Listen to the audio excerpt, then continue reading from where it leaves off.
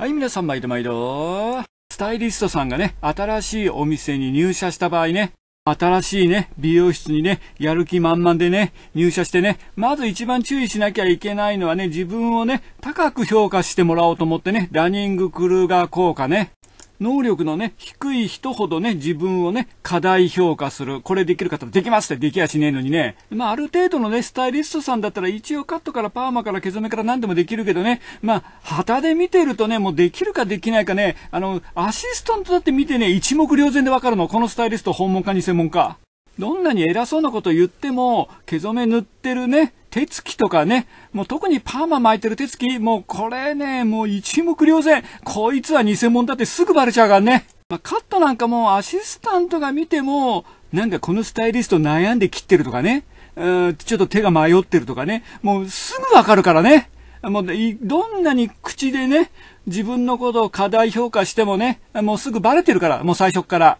美容業はね、本当に仕事でバレちゃうからね、あの、どの程度のレベルかね、考え方を変えたらさ、アシスタントだって、こう見てわかるっつうの、この美容室、美容師訪問かどうかさ。吸ってってことはさ、お客さんもわかるよね。お客さんもね、この美容師、自分のことを過大評価してるなっていうのはね、喋ってるとわかるよね。あと自分がね、美容師をね、始めた頃ね、10年ぐらい先輩の人がね、もう10年やってるからって偉そうに言ってたよね。だけど今思うと、たった10年で何ができるのと。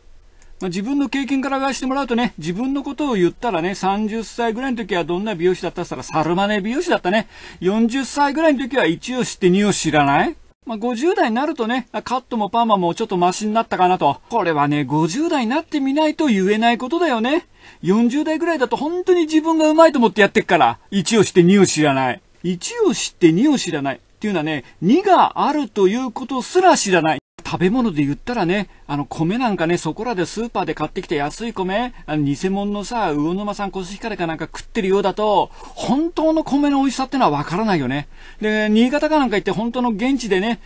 出来たてのね、魚沼産の米を食ったらこんなに違うんだってね。まあ、これはよく聞く話だよね。だから知らぬが仏ってことだよね。うん、1を知って2を知らないってことは知らぬが仏。はい、お疲れ様でした。